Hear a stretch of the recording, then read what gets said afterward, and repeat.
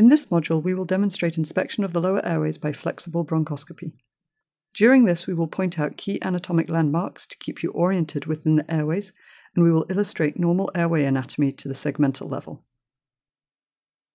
During the movie, note how the bronchoscopist abides by the rules of bronchoscopy. Keep the tip of the bronchoscope in the center of the airway. This reduces trauma to and irritation of the airways. Keeping the image in the center of the screen also helps those watching you to know where you are and to feel less dizzy. If you cannot see where you are going, advancing could lead to trauma. Try to clear the tip of the bronchoscope with gentle suction or by instilling 3 to 5 milliliters of saline through the suction channel.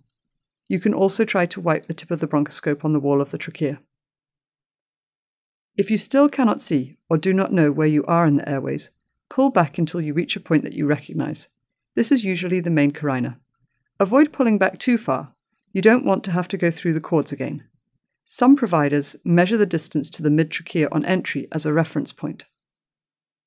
As a general rule, you should give a dose of lidocaine prior to entering the trachea and at any carina before advancing past it, as these areas are prone to causing cough. Then wait a few seconds before advancing for the lidocaine to take effect. Initial entry of the trachea often causes significant cough, so most bronchoscopists administer a dose of lidocaine into the trachea once they pass through the vocal cords. If cough is severe, the patient may need more topical anesthesia or more fentanyl or both.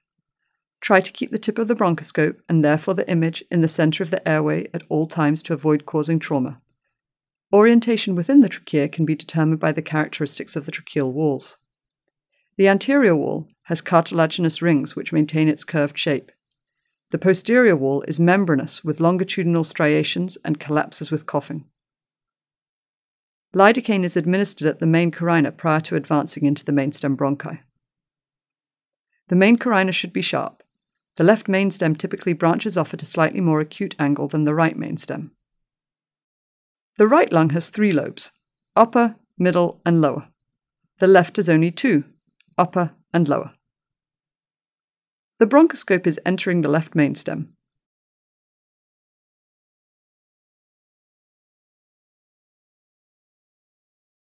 The left upper lobe bronchus takes off anterolaterally. It divides into the lingula, which is medial, and the remaining left upper lobe segments, which are anterior and apico-posterior. When performing flexible bronchoscopy, a complete airway inspection involves observing all segmental bronchi to the level of the subsegmental carina. The lingula divides into inferior and superior segments. The left lower lobe superior segment bronchus takes off posteriorly just below the level of the left upper lobe bronchus. The sup segment can be difficult to enter. The left lower lobe bronchus then divides into anteromedial, lateral, and posterior segments, forming the mnemonic ALP when the bronchoscope is held in anterior posterior orientation in the left lower lobe bronchus. After completing full inspection of one lung, return to the main carina to begin inspection of the other. The bronchoscope is entering the right mainstem. The distance from the main carina to the right upper lobe bronchus is shorter than from the main carina to the left upper lobe bronchus. The right upper lobe bronchus takes off anterolaterally. The right upper lobe trifurcates into three segments. It can be hard to see all of these at the same time. Here we clearly see the anterior and posterior segments. The apical segment is just visible. Now we have a better view of the apical segment. The bronchoscope returns to the right mainstem and then continues into the bronchus intermedius, which runs from right upper lobe takeoff to right middle lobe takeoff. The right middle lobe takes off anteromedially. The superior segment of the right lower lobe takes off posteriorly, at the level of the right middle lobe bronchus. The medial basal segment takes off medially. The right lower lobe bronchus continues caudally.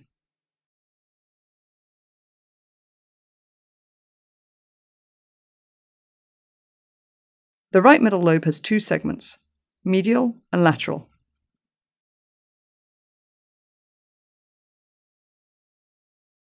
We then inspect the superior segment,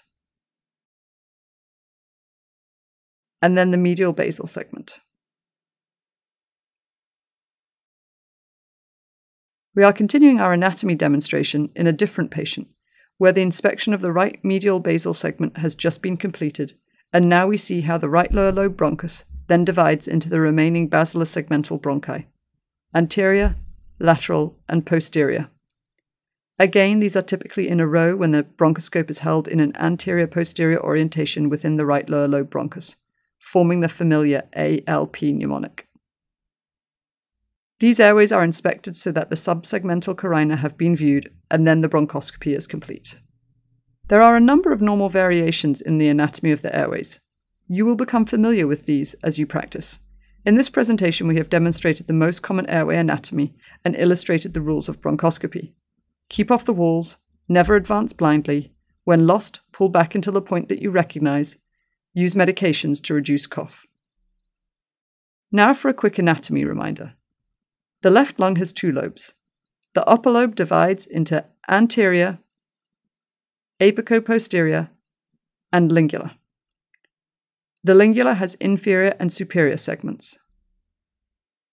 The left lower lobe divides into the superior, anteromedial, lateral, and posterior segments. The first segment we encounter during bronchoscopy is the superior segment, Beyond the superior segment, the anteromedial, lateral, and posterior segmental airways divide.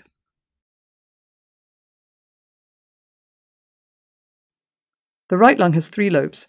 The right upper lobe bronchus takes off laterally from the right main stem and has three segments anterior, apical, and posterior. The middle lobe divides into medial and lateral segments. At the level of the right middle lobe bronchus, the superior segment, and medial basal segments are visible. Below this, the right lower lobe bronchus divides into the remaining segmental bronchi, anterior, lateral, and posterior segments.